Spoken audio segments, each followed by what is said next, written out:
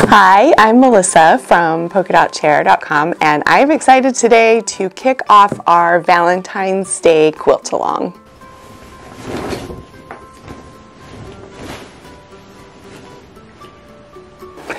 It's February 1st, which means Valentine's Day is just a couple of weeks away. So what better way to celebrate than with a little bit of Valentine's Day inspired sewing. So for this project, we are going to be making my Heart of Hearts quilt. And I'll drop a picture in uh, to the video so that you can see it because it won't all fit on the screen. But the Heart of Hearts quilt measures 53 by 53 and one of the unique things about this heart quilt is that it is made using a 5 inch pre-cut stack of fabric. Um, most of the time people refer to these as charm packs and what they are are little packages of fabric already cut into 5 inch pieces and the benefit of using this besides saving time is that you get all of these fabric prints in one package and it's an affordable way to get a lot of different kinds of fabric um, without having to buy quarter yard or eighth yard cuts of all of the different prints in a line. This fabric is my Mint for You fabric uh, with Riley Blake Designs. It came out in December of last year and it is inspired by those punny, funny Valentines that I knew when I was a kid. And it's just got all kinds of fun, bright um, heart uh, prints, I guess is a good way to put it. Um, but you can kind of look through there if you want. You don't have to use this fabric for this quilt, obviously. It's up to you what you would like to use. Um, someone asked if they could also use a jelly roll. Um, I don't have a jelly roll for You, but I do have one of Sparkler. Um, so it's sometimes called a jelly roll. Riley Blake calls them roly-polies, but they are two and a half inch wide long strips times the width of the fabric. And yes, you could use a jelly roll because we're gonna cut these pieces in half, which would give us two and a half inch strips. Um, the only downside of doing this versus a pre-cut is that you'll have a lot of extra fabric with this. So if you have another project in mind for this that you think you would use those leftovers for, then I would definitely say go for it if that's what you prefer. You can also use a 10 by 10 inch pre-cut pack. Um, Again, same issue as you would have with the two and a half inch roll. You're just gonna have a lot of extra fabric. So just whatever it is you can find, or maybe you've got one of these in your fabric stash at home, you've been wondering what to do with them, you can absolutely use it for this quilt because everything gets subcut. So this is 10 by 10. I mean, just it, it's like four of them. So you can see it's that much more fabric. For the background fabric, I don't know how this is gonna look because it's white and camera, video cameras don't like white. Um, we are going to be using my sparkler fabric. This is my basic with Riley Blake Designs and this is the white. And what it is, it's a kind of a different take on a solid fabric. It's got a little bit of texture to it. Um, it's got some gold sparkle in it, and it kind of just keeps things from looking too stark, which are which I like, especially when I'm working on a quilt like this that has a lot of negative space. So in this case, negative space would be places where there's not like um, a quilt block or a specific design detail because this quilt has lots of borders of white. So I think that it kind of gives a little more texture and a little more interest to use sparkler for that. Um, if you don't like the white, the bleached denim and songbird also look really pretty with it too. For this project, we are going, you're gonna need a pattern. Uh, this is my Heart of Hearts pattern. You can buy it packaged like this. A lot of quilt shops have ordered it, so you can maybe ask at your local quilt shop to see if they have it. You can also get it from me um, digitally. And every time I post a project with a quilt along, I get the same comment over and over again. Where do I find the instructions? So in the comments, you, I don't know if you know this, but YouTube has a comment section. And above the comment section is details. And usually the details is not is collapsed by default so you have to click on it so you can view it. And in the details section there's a whole bunch of notes. And in that I can link where to get the pattern where to get the fabric how to get to my site um, how to get in contact me with me and stuff like that. So make sure you double check um, the comment section, I guess it'd be the comment section, the detail section of the video so that you know where to get the pattern. So this first video, I am going to walk you through some of the prep steps to do before you start sewing your blocks together. Um, I am going to sew, I'm going to sew you, that's funny. I am going to show you um, how I cut my fabrics and give you a couple different options for cutting the background fabrics. And then there's a couple of preparatory steps that you're gonna wanna do cutting wise to your five inch stacker. So I'll cover those in the video. If you are brand new to quilting, um, I definitely cover some basics with rotary cutter and cutting mat. If you've been quilting for a really long time and you have your favorite way of cutting fabric, then you can fast forward those parts, but I would recommend watching the parts um, where I talk about how to get the most out of these charm pack pieces in the quilt. And with all that being said, we are ready to start cutting. I'm gonna switch over to the overhead cameras so that you get a good detailed view of my cutting mat and my sewing machine. And let's get going. If you have questions, drop them in the comments section and let me know.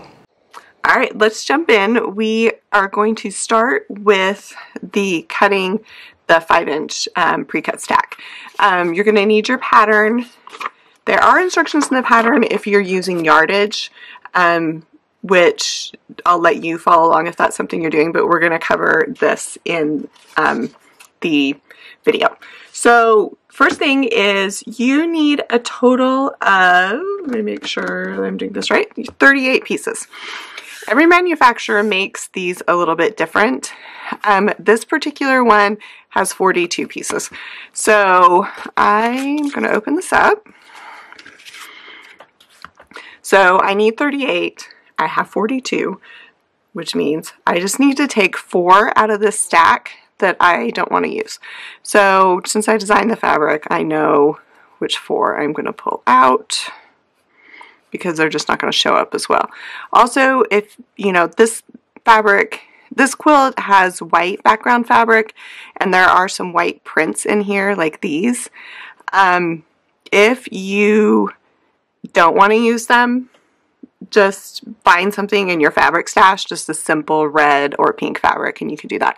But right now, I know that these two and these two are not going to show up super well on that white background. So I'm going to pull those out. Those are going to be my four that I'm not using. I'll just put these in a pile.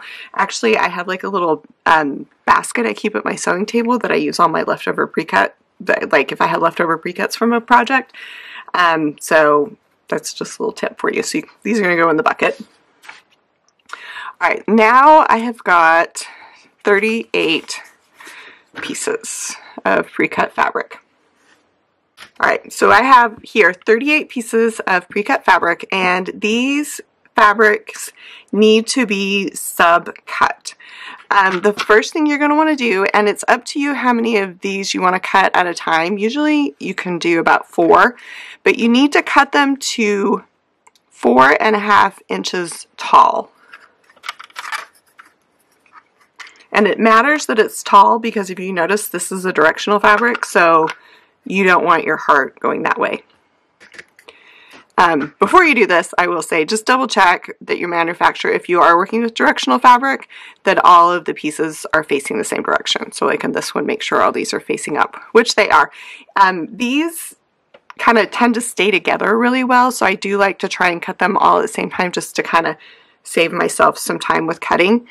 Um, a couple ways to go about this. You can use your cutting mat and you can measure over four and a half inches, line up your half inch mark on your ruler, and then cut right here. You can also come over on this side, line up your half inch here, double check it on your ruler, and cut it that direction. It's up to you. I, for some reason, I work backwards. I cut, I read, I'm right-handed, but I always cut left left to right. So I don't know. Anyway, all right, so that is cut to four and a half inches. And then the second thing you need to do, again, it's up to you whether or not this is the two and a half inch ruler, um, which makes this pretty easy. And just gonna cut that to two and a half inches. So now I have pieces that are uh, two and a half by four and a half. It's important at this step that as you cut these, you keep them in separate piles because you're going to have right heart, right hand side of your heart and left hand side of your heart. So just keep doing that and keep cutting all of your pieces until you have cut the entire, oh, excuse me, keep cutting all your pieces until you've cut your entire um, pre-cut stack. All right, now that you've cut your pre-cuts, um, keep them in two separate piles and set them aside. And we're going to move on to cutting the background fabric. I've made a quick change to my background fabric. Uh, the quilt features white sparkler, but no matter what I did, I couldn't really get the white fabric to show up well on camera, and I wanted you guys to be able to see what I was working on. So there's a couple of different ways to cut these pieces. You're going to need a lot of two and a half inch and a lot of one and a half inch squares. Um, so there's a couple ways to do this. One way to do this for our two and a half inch pieces um, is, so you've got three yards of fabric here. Uh, mine's on a bolt. I think it's easier to work in smaller pieces. So what I'm going to do, so I'm going to cut some of my two and a half inch pieces here. All right, so we're going to do a little bit of math. Um, this fabric I've checked, I have 40, you can't see it all on the camera, but I have 42 inches of usable width. Not every fabric I have that. I need 76 two and a half inch pieces.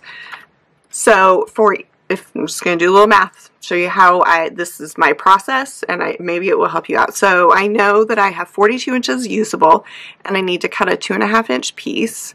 So um, two and a half goes into 42, 16 0.8 times. You can't use obviously an eighth of a piece, so 16 times, which means I can get 16 two and a half inch squares from one two and a half inch cut of this fabric. And then I need a total of 76. So how many times does 16 go into 76? So 76 divided by 16 is 4.75. Um, you need to, I'm going to round up just to be safe, so I'm going to go 5. So 5 times 2.5 is 12 and a half. So what I'm going to do is I'm going to cut this yardage 13 inches because I'm going to round up. So I'm going to come over from this mark here, which is 33, and I'm going to come back down to 20 and cut 13 inches. Then I'm going to take it over to my iron and I am going to starch my fabric. This is the starch that I like to use. If you don't like aerosols, this comes in a pump spray, um, but this is what I use. I think that you get much more accurate um, cuts and much more accurate piecing if you take the extra step to starch your fabric.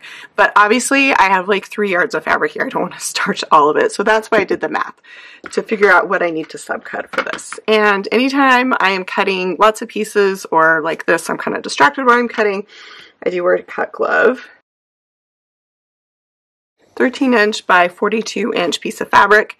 I'm going to starch it and press it and I should be able to get all 76 of my two and a half inch pieces out of this piece of fabric. Alright, the fabric is starched. I've zoomed out the camera as much as I can, but I, what I have is I have my piece of fabric here. I've made sure my selvage edges are even, and I have starched it and let it dry.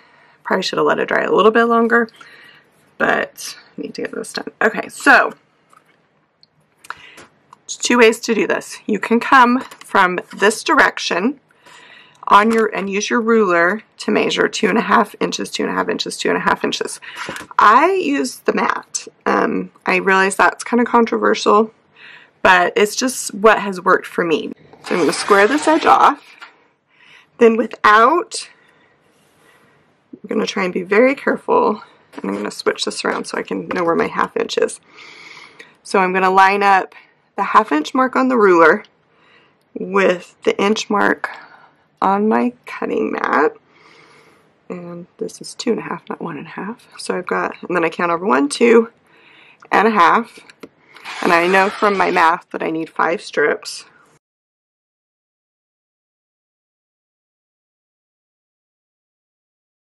Alright, there I've got five two and a half inch by width of fabric strips.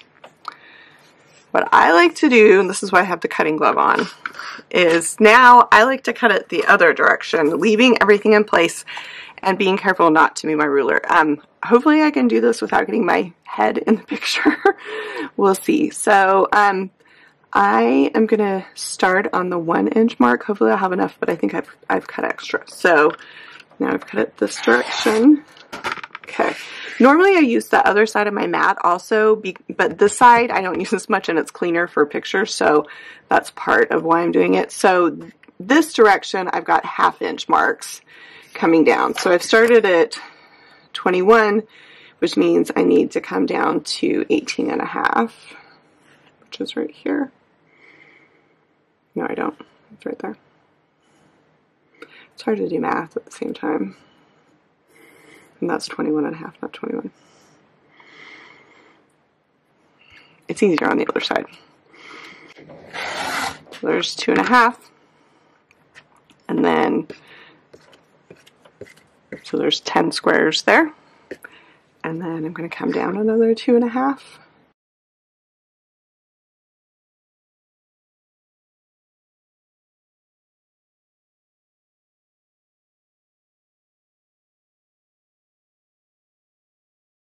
All right, so I'm finished. Now I have all of my two and a half inch squares.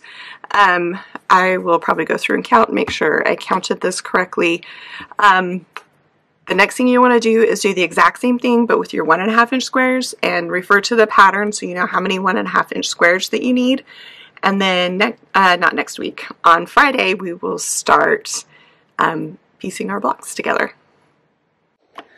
All right, I know I said we were done cutting, but I wanted to show you how to do this working from the other direction. So I've got my folded piece of fabric here, and you can't see it in the camera. I'll squish it up a little bit so maybe you can see it. It's got to go pretty far. But I have gone in and just trimmed off the folded edge of my fabric. So here's the fold. Selvage is up here. So I have a raw end right here.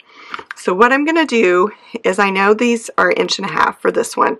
So I'm finding the inch and a half mark on my ruler. I'm going to put the cut glove back on. If you can't see this one, you'll see the next one. And then I'm cutting across. I'm going to move these out of the way. You should be able to see this one better. So it just kind of depends which way you want to work.